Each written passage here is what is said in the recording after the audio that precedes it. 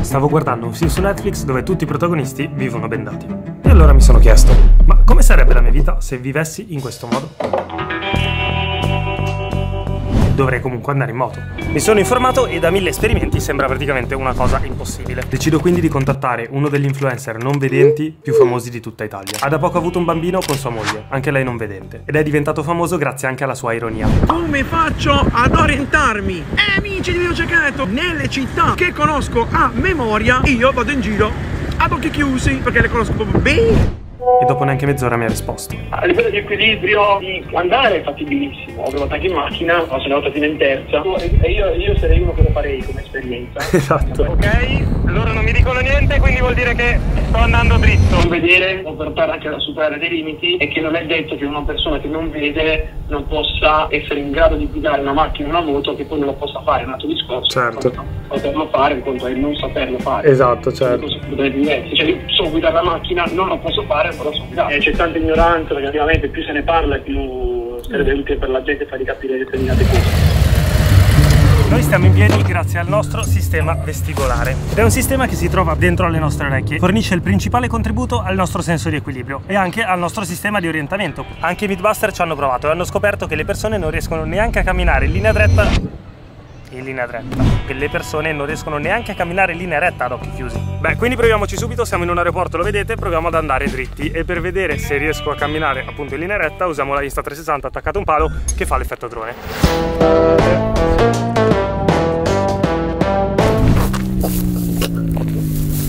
What? ok, i Mythbuster avevano ragione. Questo è un problema perché se devo andare in moto... Pensavi di averlo farcela? Sì, proviamo. Eric Wennemeyer è stato il primo alpinista non vedente a raggiungere la vetta dell'Everest. Sono 8848 metri, a quella quota volano gli aerei di lì. Una delle cose che aiutano di più i non vedenti ad orientarsi è l'udito. Alcuni riescono a sviluppare come i pipistrelli degli ecoradar. Daniel Kisk infatti è conosciuto come il vero uomo pipistrello, il vero Batman, perché ha inventato un metodo per orientarsi. Ed è un esempio di come tante persone hanno usato una loro disabilità come una loro forza, schioccando la lingua tre volte così riesce a sentire le vibrazioni di quello che ha davanti. È incredibile questa cosa. I Mythbuster hanno anche fatto vedere che non si può nuotare in linea retta. Tu continui a girare in tondo, continui a girare in tondo e non tenere di conto. Però adesso voglio provarlo con la, la mia pelle. In realtà ci sono riuscito anche se ho fatto due metri perché mi fa paurissimo. Adesso vediamo però se riesco ad andare in moto, che è tutta un'altra storia. E in moto come faccio a mantenere l'equilibrio? Il sistema è composto dai canali circolari che indicano i movimenti di rotazione, in che modo rotea il nostro corpo, e gli otoliti che indicano le accelerazioni ed è proprio questo il vero problema. Noi agiamo alle accelerazioni, non alle forze continue. Avete mai notato che in aereo o ad esempio in treno non ci dà fastidio la velocità? Quando è che ci dà fastidio? Sulle montagne russe, perché subiamo un'accelerazione e che infatti poi è il problema della realtà virtuale, perché tu più di un tot non riesci a ad avere il visore addosso, quando nel gioco ci sono delle accelerazioni. Formula 1 ti fa venire il vomito. Noi siamo fermi perché siamo seduti a casa, ma la nostra vista ci fa vedere che ci stiamo muovendo. Perché ci viene da vomitare? Perché il nostro cervello e il nostro corpo sono super intelligenti e pensano che siamo stati avvelenati. Allo stesso tempo il visore lo potete usare alla scrivania, come ci fa vedere Yakidale, perché lì non ti dà fastidio. L'ambiente è fermo, le nostre orecchie percepiscono che siamo fermi e quindi non crea alcun tipo di problema. Io in moto ho il rumore del motore che teoricamente mi dovrebbe completamente disorientare. Cioè, ma tu vuoi fare un video guida le fai? È arrivato il momento della verità, per sicurezza io sarò collegato con i miei amici qui nell'interfono, quindi io li sentirò e mi diranno ovviamente se mi sto andando a schiantare a destra o a sinistra. Qui abbiamo un rettilineo enorme, quindi tendenzialmente la moto per inerzia dovrebbe andare avanti. Però in realtà non so, perché come avete visto sia a nuoto sia a piedi, tendenzialmente non riesci mai a seguire una linea dritta. Così teoricamente guardate io sono dritto e che cosa bella che si può girare la videocamera con la 360 In realtà hanno fatto anche un film in cui Nerve si chiama. C'è il protagonista che guida una moto con la visiera completamente oscurata. Effettivamente facciamo come i Mythbuster Quindi vediamo se questa cosa è plausibile oppure no. È arrivato il momento di andare in moto. Mamma che, che sana ansietta ragazze Me la sto facendo addosso. Che sono vestito con tutte le protezioni del caso. Proviamo!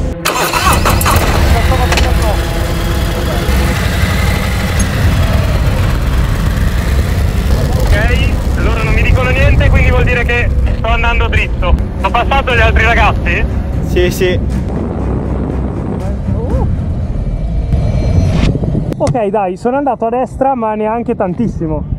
Torniamo dagli altri e vediamo di fare le cose un po' più complesse. E a proposito di guardare il mondo con un'altra prospettiva, non posso far altro che parlarvi di queste, raga. Sono le nuove videocamere della Insta360, questa è la X3. Ti permette di aumentare il nostro campo visivo e di vedere di più. Perché siamo sempre stati abituati a vedere il mondo con le solite inquadrature strette, chiuse, delimitate da un obiettivo fisso. Tipo se io zoomo, vabbè, o così o così. Con la Insta360 invece potete vedere tutto il mondo attorno a voi ed è una rivoluzione incredibile per i videomaking. Io la uso tutti i giorni quando vado in moto. Possiamo pensare in modo diverso, davvero fuori dagli schemi perché si possono fare inquadrature mai viste. Come potete vedere questo è il kit moto, la monti qui e questo viene nascosto. È un bastone che praticamente viene reso invisibile ed è super comodo, soprattutto per un discorso di sicurezza. Nel caso mai vi dovesse succedere qualcosa, la Insta è sempre lì che riprende. Ha un'autonomia indecente, raga, vi giuro. Il giro dura due ore, lei c'è, sempre rimane carica e registra tutto. E sostanzialmente vi libera la testa perché voi non dovete avere il pensiero di mettere la videocamera nel modo giusto. Voi la posizionate e poi ci pensate dopo. Quindi raga mi raccomando andate qua sotto al link per vedere quanto costa, informarvi perché questo qua è un must have. Tra un po' si avvicinerà anche Natale, un sacco di occasioni, è perfetta per un regalo di compleanno o comunque per un discorso di sicurezza. Quindi andate qua sotto, avete un mio codice sconto. Ci vediamo sul sito di Insta, ciao!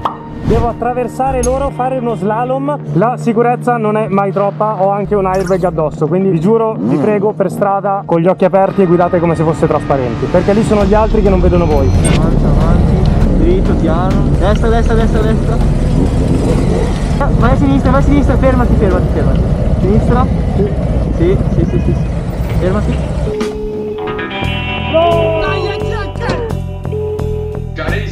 Ci sono riuscito, sono troppo contento. Ho, ho fin- Grande, Eh. hai visto che era fattibile? Era fattibile, avevi ragione, avevi ragione. Si può, si può, si può separare tutto. È bello se si può approfondire un discorso che magari uno pensa che non è fattibile, quando invece poi in realtà si scopre che si può fare. Ci sono delle guide, diciamo, navigatori che si prestano per far fare delle esperienze in macchina ai non vedenti. Quindi praticamente si mettono al posto del passeggero, il non vedente guida Madonna. e gli fanno fare una specie di, di di circuito. Ed è bellissimo. Io gioco a calcio da- dall'età di 15 anni. Ed effettivamente quando uno pensa che le cose nella vita non si possono fare se non hai la vista o hai una disabilità, ecco il calcio è uno di quegli esempi che in realtà ti fa capire quanto Eh. a volte lo sport abbatte Certo. le barriere, no? Certo. Perché basta una palla, una palla sonora e via. Che bello. E infatti il video lo vorrei concludere con un invito. Potremmo fare un video insieme, un- una persona non vedente può guidare una macchina. Vabbè scusa, no, è, è un video, è un, è un finale che spacca, qualcosa che sicuramente io non vedo, non vedo l'ora di fare. Esatto. Eh, io sono di Bari però vivo in Liguria. Ah, vabbè, no, ma allora siamo vicinissimi, io a Milano. Ah, beh, allora fa, ovvio qui a Milano, vieni. Così vengo anche in Harley, ti porto dietro sulla moto. Sacco è il mio sogno, bellissimo. Bellissimo. Dai, dai, eh. allora volentieri. Ti aspetto qua. Ciao, bello. Che bello, raga. Quindi iscrivetevi al canale perché con lui faremo un sacco di contenuti interessanti. E vediamo se si riesce a far guidare la macchina Sebastiano.